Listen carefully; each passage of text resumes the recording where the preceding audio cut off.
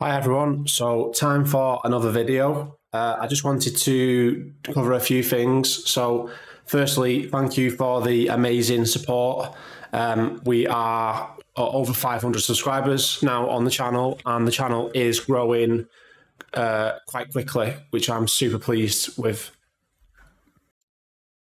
Hopefully, you're noticing a huge improvement to the audio quality I've taken your feedback on board and I've purchased a decent microphone. So please let me know in the comments if the audio quality is better in this video compared to some of the other videos. But you might be asking what this particular video is going to be about. So we're continuing on with the FortiGate series, showing users how to get the best out of some of the next generation firewall features. So we've already covered web filtering and application control in two other previous videos. Uh, and in this video, we're going to do IPS. So you might ask yourselves, what is IPS? So it's actually an improvement on IDS. So the difference between IPS and IDS is that IPS has the ability to monitor and act. It's known as virtual patching, whereas IDS has the ability to monitor and flag potential threats, but it does not have the ability to respond. So what I'm going to show in this video is how to configure IPS effectively. It's very mem memory intensive. So if you do not tweak IPS filters by doing things like selecting its uh, client or server-based signatures or potentially the customer only has a Windows environment or a Mac environment, using those filters to mean that you're filtering down the amount of signatures that the the, the gate has to pass through, then you're not going to run into some memory issues. If you just simply log onto a FortiGate appliance, you've got the light uh, licensing, but then you just simply uh, configure IPS to monitor every single signature uh, that's been created. There's uh, 10,600 at the time of creating this video. That's the extended database. Um, then it's likely that if you're using some of the more entry level models um, and you've got lots of data going through your environment, then you expect your memory to go through the roof. So, what I've done here is I've uh, created a little bit of a, a diagram just to show the different ways that you can use IPS. There's actually three uh, ways. So the first um, way is protecting um, an internal resource from the outside internet. So let's say I'm uh, out on the internet, I've got a virtual IP configured on this FortiGate, um, and I have a web server, WordPress web server running. Um, so the packet comes in from the internet, it hits the FortiGate, appliance, and then it uses a virtual IP to go to the WordPress web server or Apache, whatever whatever you you you want to you want to call it. Um, so there's lots of vulnerabilities and things associated with WordPress. So what you can do is when the packet comes in, you can apply an IPS filter um, against a firewall policy that matches the virtual IP for this particular web server, um, and you can have the gate at some of the known threats against WordPress or Apache, for example. The second flow is the exact opposite. Now, this is definitely misunderstood, but you can definitely, definitely use IPS for traffic that is leaving your network. Now, you might want to, you might think about that and go, well, hold on a minute, hang on. Why would I care about scrubbing and protecting traffic that's leaving my environment? So, things like command and control servers could exist on the internet. Fortinet has a known database against associated fully qualified domain names, IP addresses that you know are known to be command and control servers. It can simply block the communication outbound.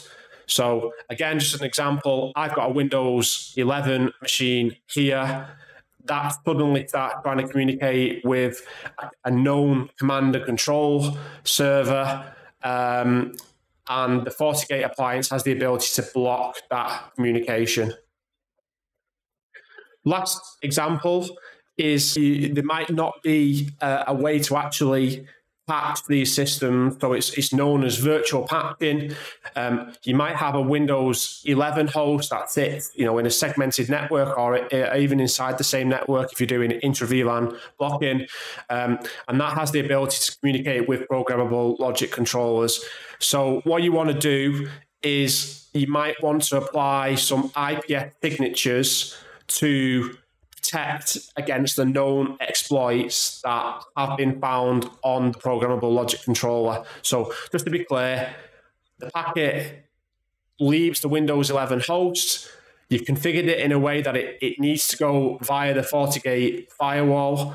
Uh, and then towards the programmable logic controller, you can apply an IPS filter to essentially pat um, the known threats um, at the packet level as it's um, transversing across the FortiGate firewall.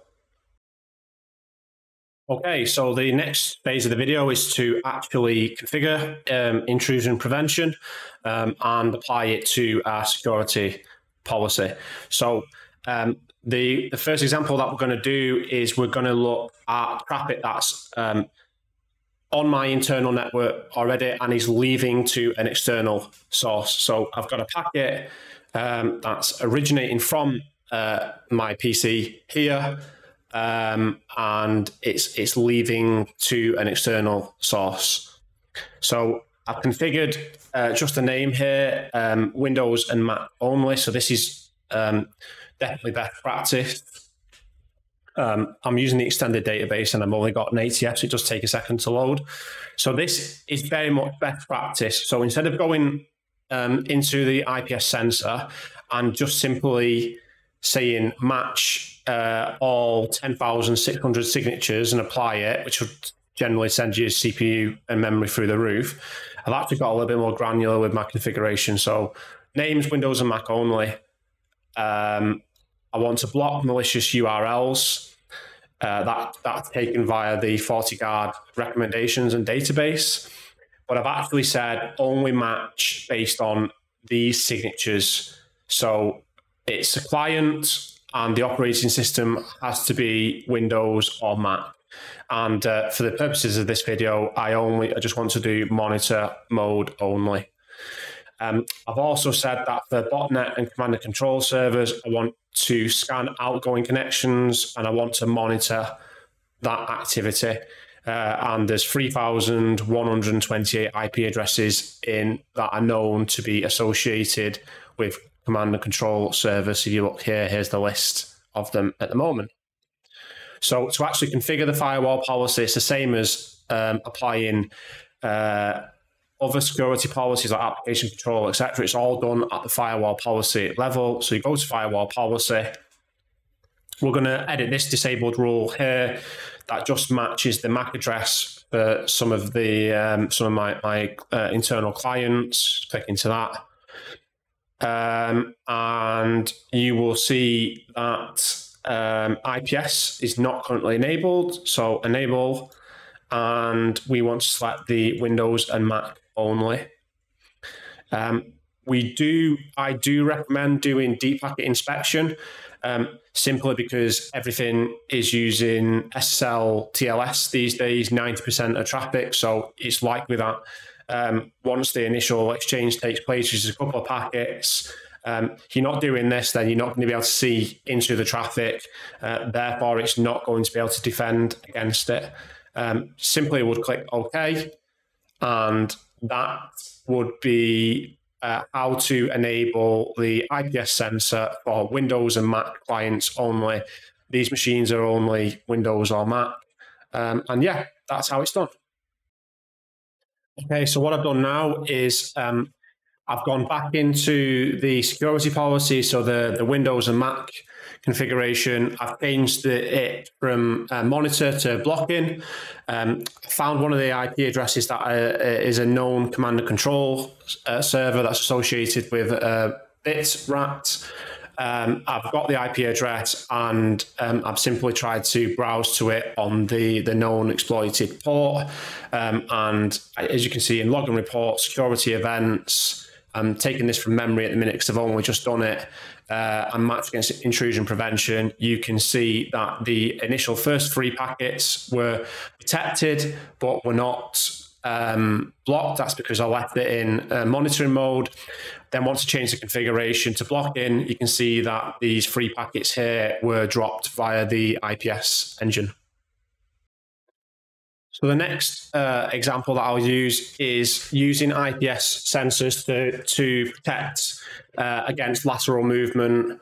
Um, so uh, you must have intra-VLAN blocking um, to be able to do this, um, or you might you need to have two different um, policies defined from from a segment a layer three segmentation perspective. So you would create firewall rules between them. But uh, I'm going to do one around Omron PLC. So creating a new intrusion prevention uh, sensor. I've named it Omron PLC IPS. Uh, I'm going to create new. I've filtered via the name Omron. And I'm going to apply all these signatures here to my policy. I'm going to click OK on that going to go to firewall policy. You'll see that I have created um, a new firewall policy here. Um, again, intra-VLAN blocking would need to be enabled for this to be a, a correct configuration. Um, I've got PLC um, that's on 192.168.100.1 and a PLC that's on 192.168.100.2. Um, you might want to apply an IPS sensor to defend um, the communication actually i think probably a better example would be if a windows machine was trying to communicate with the second plc so let's do that actually. Um, so this windows pc is trying to communicate with this plc here. Perhaps potentially this windows pc has been um, compromised. Uh, it's trying to uh, recon and probe the plc um, so we would stop that with an ips sensor would use the the one that's got the Omron PLC signatures matched. Again, deep packet inspection is is recommended because once you get beyond the first few packets, if the packets are, let's say, wrapped around with TLS, um, SSL, then good luck because it's encrypted, it won't be able to see into it. Um, and that's what the firewall policy would look like. And you enable it. And um, there we go. You see, from Chris's, my, my sim racing PC to this PLC, um, make sure that you are applying virtual patching, let's say, the signatures that are uh, we configured uh, to try and defend this programmable logic controllers. So that brings the IPS video uh, to a close. Just to be clear, this is only an entry level uh, exploration. The video is 12 minutes long already. Uh, and so I don't want to go super detailed with, with this particular series. But to clarify, IPS can be used to protect packets that are originating from an, your internal network to an external network. Maybe it will try and uh, it's uh, that that packet flow is um, the destination is a known command and control server. Uh, IPS will block that communication. It can be used to block internal to internal communication and defend against lateral movement. Um, and it can also be used to defend um, external to internal um, communication. So if I've got a PC on the public internet and I've got a mail server um, that lives inside my network. Um, and that mail server has a bunch of uh, vulnerabilities associated with it. Um, you could use IPS to defend against that. Um, that brings the video to a close. As always, thanks so much um, to you. If you've got to the end of this video, um, please give me some comments and feedback in the description below, and we'll see you in the next video in this series.